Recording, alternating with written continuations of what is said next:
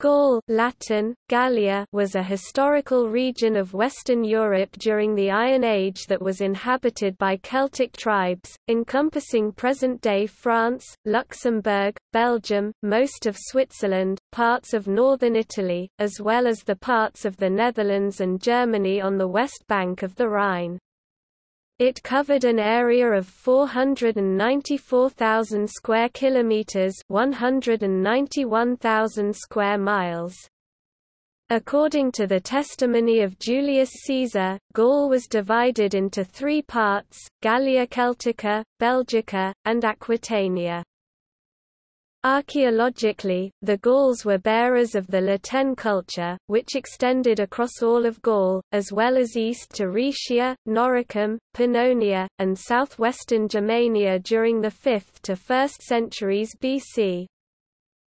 During the 2nd and 1st centuries BC, Gaul fell under Roman rule. Gallia Cisalpina was conquered in 203 BC and Gallia Narbonensis in 123 BC.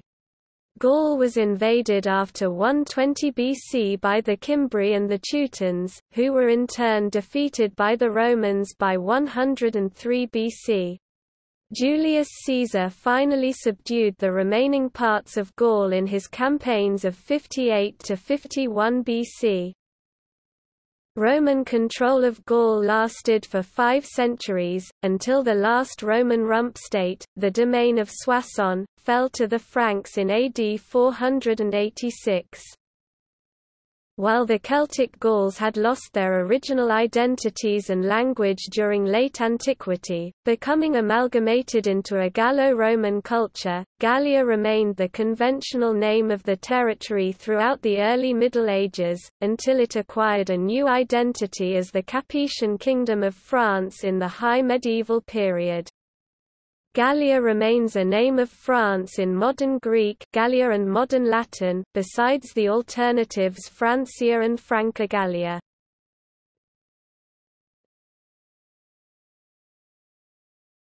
Topic name The Greek and Latin names Galatia first attested by Timaeus of Tauromenium in the 4th century BC and Gallia are ultimately derived from a Celtic ethnic term or clan Gal a, too. The Galli of Gallia Celtica were reported to refer to themselves as Celtae by Caesar. Hellenistic folk etymology connected the name of the Galatians, Galatai Galatai, to the supposedly milk white skin, gala gala, milk, of the Gauls. Modern researchers say it is related to Welsh galu, Cornish galloes, capacity, power, thus meaning powerful people. The English Gaul is from French Gaule and is unrelated to Latin Gallia, despite superficial similarity. The name Gaul is derived from the Old Frankish asterisk Walhollant via a Latinized form asterisk Walula literally, land of the foreigners, Romans, in which asterisk Walho is reflex of Proto-Germanic asterisk Walhaz, foreigner, Romanized person, an exonym applied by Germanic speakers to Celts and Latin-speaking people indiscriminately, making it cognate with the names Wales and Wallachia. The Germanic W is regularly rendered as gu, g in French cf. guerre, war, garder, ward, and the historic diphthong o is the regular outcome of al before a following consonant cf. cheval tilde chevaux. French Gaul or Gaul cannot be derived from Latin Gallia, since G would become J before a cf, gamba greater than jambe, and the diphthong O would be unexplained. The regular outcome of Latin Gallia is Jaille in French, which is found in several Western placenames, such as La Jaille Yvon and Saint Mars La Jaille. Proto-Germanic asterisk Walla is derived ultimately from the name of the Volcae, also unrelated, in spite of superficial similarity, is the name Gael. The Irish word Gall did originally mean, a Gaul, i.e. an inhabitant of Gaul, but its meaning was later widened to foreigner to describe the Vikings, and later still the Normans.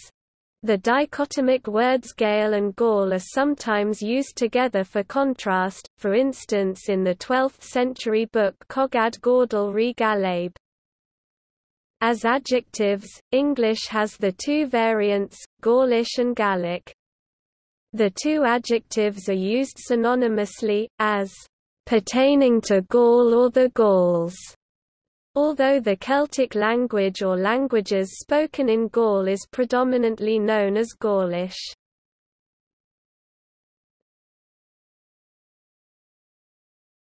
Topic: History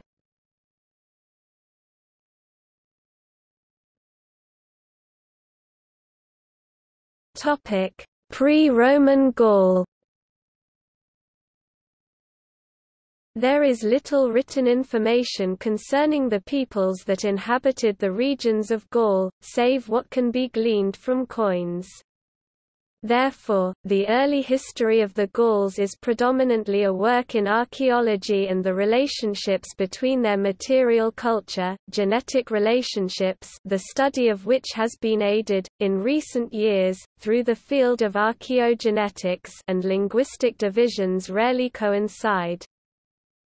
Before the rapid spread of the La Tène culture in the 5th to 4th centuries BC, the territory of eastern and southern France already participated in the Late Bronze Age Urnfield culture c. 12th to 8th centuries BC, out of which the early iron working Hallstatt culture 7th to 6th centuries BC would develop. By 500 BC, there is strong Hallstatt influence throughout most of France except for the Alps and the extreme northwest. Out of this Hallstatt background, during the 7th and 6th century presumably representing an early form of continental Celtic culture, the La Tène culture arises, presumably under Mediterranean influence from the Greek, Phoenician, and Etruscan civilizations, spread out in a number of early centers along the Seine, the Middle Rhine and the Upper Elbe. By the late 5th century BC, La Tène influence spreads rapidly across the entire territory of Gaul.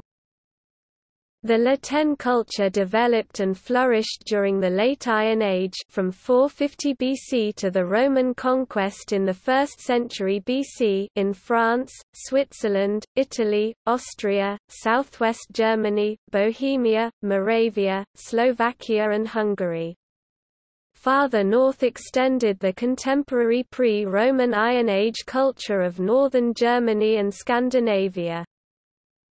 The major source of materials on the Celts of Gaul was Posidonios of Apamea, whose writings were quoted by Timagenes, Julius Caesar, the Sicilian Greek Diodorus Siculus, and the Greek geographer Strabo. In the 4th and early 3rd century BC, Gallic clan confederations expanded far beyond the territory of what would become Roman Gaul, which defines usage of the term Gaul Today, into Pannonia, Illyria, northern Italy, Transylvania and even Asia Minor. By the 2nd century BC, the Romans described Gallia Transalpina as distinct from Gallia Cisalpina. In his Gallic Wars, Julius Caesar distinguishes among three ethnic groups in Gaul, the Belgae in the north roughly between Rhine and Seine, the Celtae in the centre and in Armorica, and the Aquitani in the southwest, the southeast being already colonized by the Romans. While some scholars believe the Belgae south of the Somme were a mixture of Celtic and Germanic elements, their ethnic affiliations have not been definitively resolved. One of the reasons is political interference upon the French historical interpretation during the 19th century. In addition to the Gauls, there were other peoples living in Gaul, such as the Greeks and Phoenicians who had established outposts such as Massilia present-day Marseille along the Mediterranean coast. Also, along the southeastern Mediterranean coast, the Ligures had merged with the Celts to form a Celto-Ligurian culture.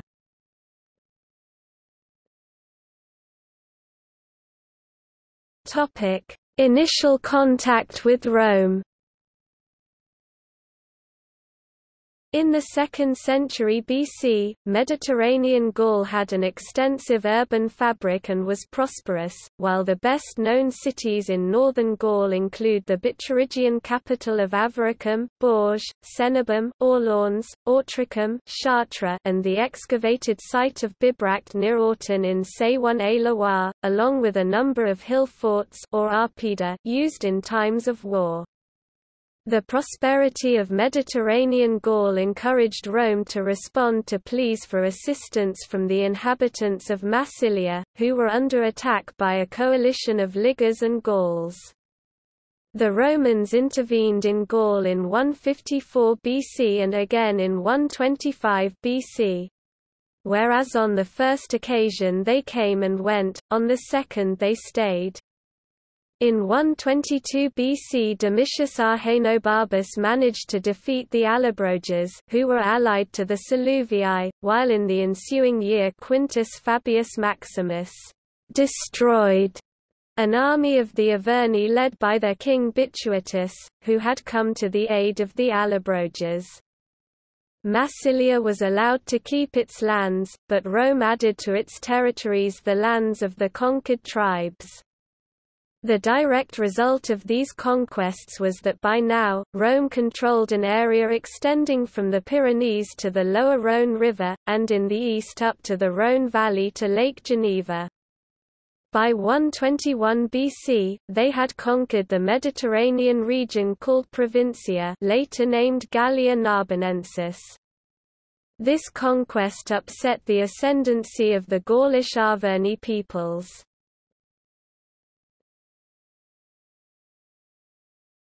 Topic: Conquest by Rome. The Roman proconsul and general Julius Caesar pushed his army into Gaul in 58 BC, on the pretext of assisting Rome's Gaulish allies against the migrating Helvetii.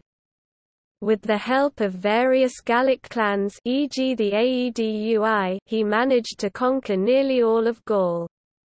While their military was just as strong as the Romans, the internal division between the Gallic tribes guaranteed an easy victory for Caesar, and Vercingetorix's attempt to unite the Gauls against Roman invasion came too late. Julius Caesar was checked by Vercingetorix at a siege of Gergovia, a fortified town in the centre of Gaul. Caesar's alliances with many Gallic clans broke. Even the Aedui, their most faithful supporters, threw in their lot with the Arverni, but the ever-loyal Remi best known for its cavalry and Lingones sent troops to support Caesar. The Germani of the Ubii also sent cavalry, which Caesar equipped with Remi horses.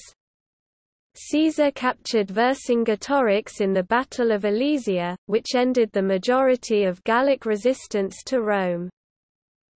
As many as a million people probably one in five of the Gauls died, another million were enslaved, 300 clans were subjugated and 800 cities were destroyed during the Gallic Wars. The entire population of the city of Avaricum, Bourges 40,000 in all, were slaughtered.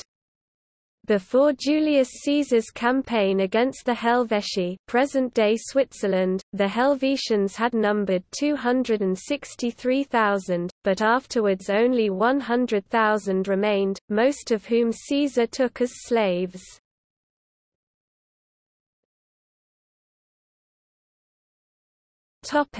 Roman Gaul After Gaul was absorbed as Gallia, a set of Roman provinces, its inhabitants gradually adopted aspects of Roman culture and assimilated, resulting in the distinct Gallo-Roman culture. Citizenship was granted to all in 212 by the Constitutio Antoniniana. From the 3rd to 5th centuries, Gaul was exposed to raids by the Franks. The Gallic Empire, consisting of the provinces of Gaul, Britannia, and Hispania, including the peaceful Baetica in the south, broke away from Rome from 260 to 273. In addition to the large number of natives, Gallia also became home to some Roman citizens from elsewhere and also in migrating Germanic and Scythian tribes such as the Alans. The religious practices of inhabitants became a combination of Roman and Celtic practice, with Celtic deities such as Cobannus and Epona subjected to Interpretatio Romana. The imperial cult and Eastern mystery religions also gained a following. Eventually, after it became the official religion of the empire and paganism became suppressed, Christianity gradually won out in the twilight days of the empire. A small but notable Jewish presence also became established. The Gaulish language is thought to have survived into the 6th century in France, despite considerable Romanization of the local material culture. The last record of spoken Gaulish deemed to be plausibly credible concerned the destruction by Christians of a pagan shrine in Auvergne, called Vasso Galatae in the Gallic tongue, Coexisting with Latin, Gaulish helped shape the Vulgar Latin dialects that developed into French. The Vulgar Latin in the region of Gallia took on a distinctly local character, some of which is attested in graffiti, which evolved into the Gallo-Romance dialects which include French and its closest relatives. The influence of substrate languages may be seen in graffiti showing sound changes that matched changes that had earlier occurred in the indigenous languages, especially Gaulish. The Vulgar Latin in the north of Gaul evolved into the Langues d'Oil and Franco-Provençal, while the dialects in the south evolved into the modern Occitan and Catalan tongues. Other languages held to be Gallo-Romance include the Gallo-Italic languages and the Rhaeto-Romance languages.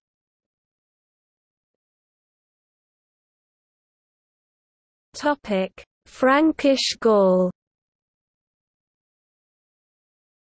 Following the Frankish victory at the Battle of Soissons in 486 AD, Gaul except for Septimania came under the rule of the Merovingians, the first kings of France. Gallo-Roman culture, the Romanized culture of Gaul under the rule of the Roman Empire, persisted particularly in the areas of Gallia Narbonensis that developed into Occitania, Gallia Cisalpina and to a lesser degree, Aquitania. The formerly Romanized north of Gaul, once it had been occupied by the Franks, would develop into Merovingian culture instead.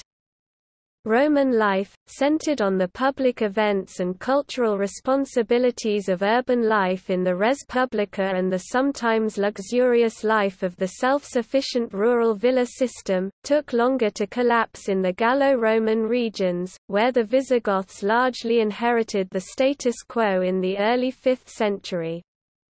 Gallo-Roman language persisted in the northeast into the Silva Carbonaria that formed an effective cultural barrier, with the Franks to the north and east, and in the northwest to the lower valley of the Loire, where Gallo-Roman culture interfaced with Frankish culture in a city like Tours and in the person of that Gallo-Roman bishop confronted with Merovingian royals, Gregory of Tours.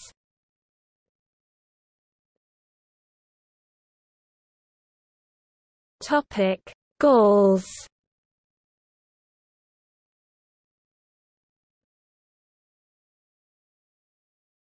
Topic: Social structure, indigenous nation and clans. The Druids were not the only political force in Gaul, however, and the early political system was complex, if ultimately fatal to the society as a whole. The fundamental unit of Gallic politics was the clan, which itself consisted of one or more of what Caesar called pagi.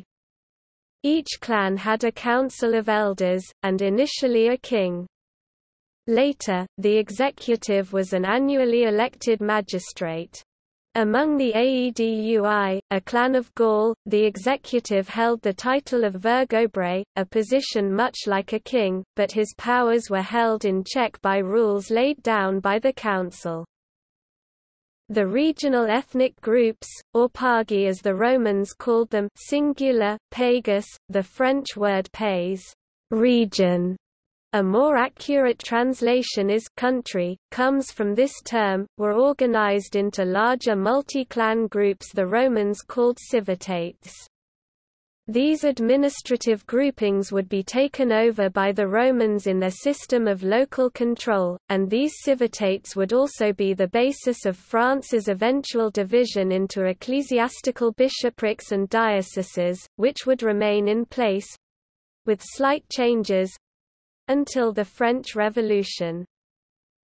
Although the individual clans were moderately stable political entities, Gaul as a whole tended to be politically divided, there being virtually no unity among the various clans. Only during particularly trying times, such as the invasion of Caesar, could the Gauls unite under a single leader like Vercingetorix. Even then, however, the faction lines were clear. The Romans divided Gaul broadly into provincia the conquered area around the Mediterranean, and the northern Gallia Comata free Gaul", or long-haired Gaul. Caesar divided the people of Gallia Comata into three broad groups, the Aquitani, Galli who in their own language were called Celtae, and Belgae. In the modern sense, Gaulish peoples are defined linguistically, as speakers of dialects of the Gaulish language. While the Aquitani were probably Vascons, the Belgae would thus probably be a mixture of Celtic and Germanic elements.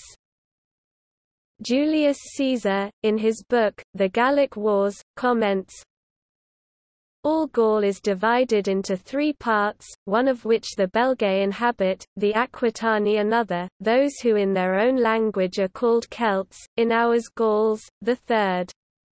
All these differ from each other in language, customs and laws.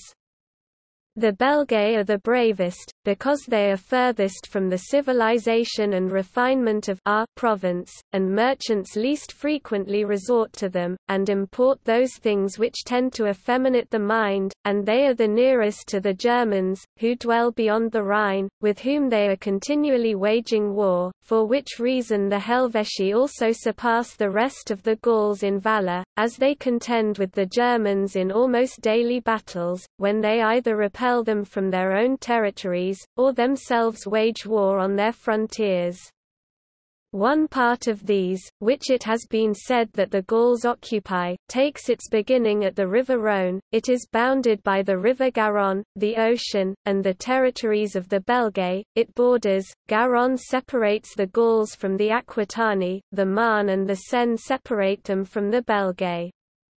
Of all these, the Belgae too, on the side of the Sequani and the Helvetii, upon the river Rhine, and stretches toward the north. The Belgae rises from the extreme frontier of Gaul, extend to the lower part of the river Rhine, and look toward the north and the rising sun. Aquitania extends from the river Garonne to the Pyrenean Mountains and to that part of the ocean which is near Spain, it looks between the setting of the sun, and the North Star.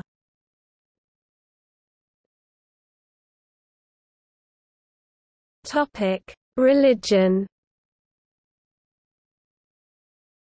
The Gauls practiced a form of animism, ascribing human characteristics to lakes, streams, mountains, and other natural features and granting them a quasi-divine status. Also, worship of animals was not uncommon. The animal most sacred to the Gauls was the boar, which can be found on many Gallic military standards, much like the Roman eagle.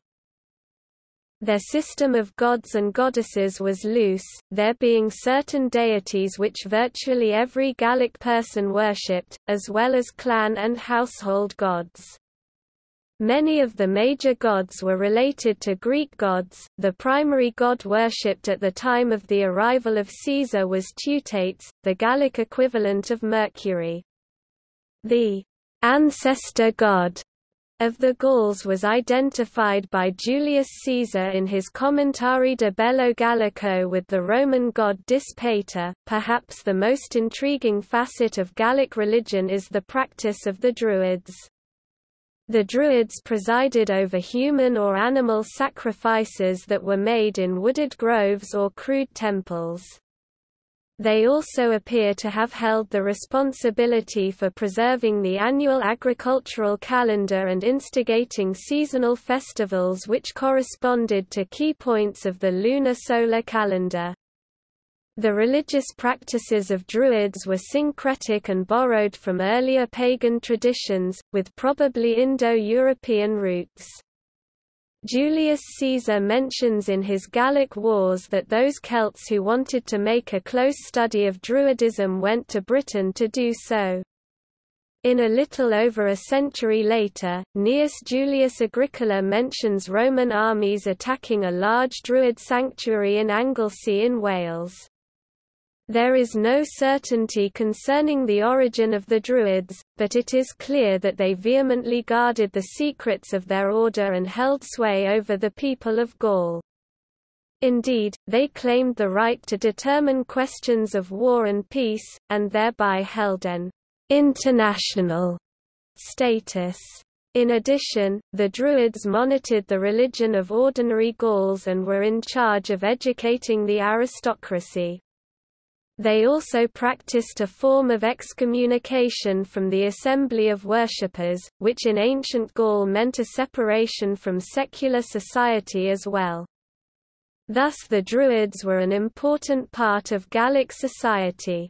The nearly complete and mysterious disappearance of the Celtic language from most of the territorial lands of ancient Gaul, with the exception of Brittany France, can be attributed to the fact that Celtic Druids refused to allow the Celtic oral literature or traditional wisdom to be committed to the written letter. The Celts practiced head hunting as the head was believed to house a person's soul. Ancient Romans and Greeks recorded the Celts' habits of nailing heads of personal enemies to walls or dangling them from the necks of horses.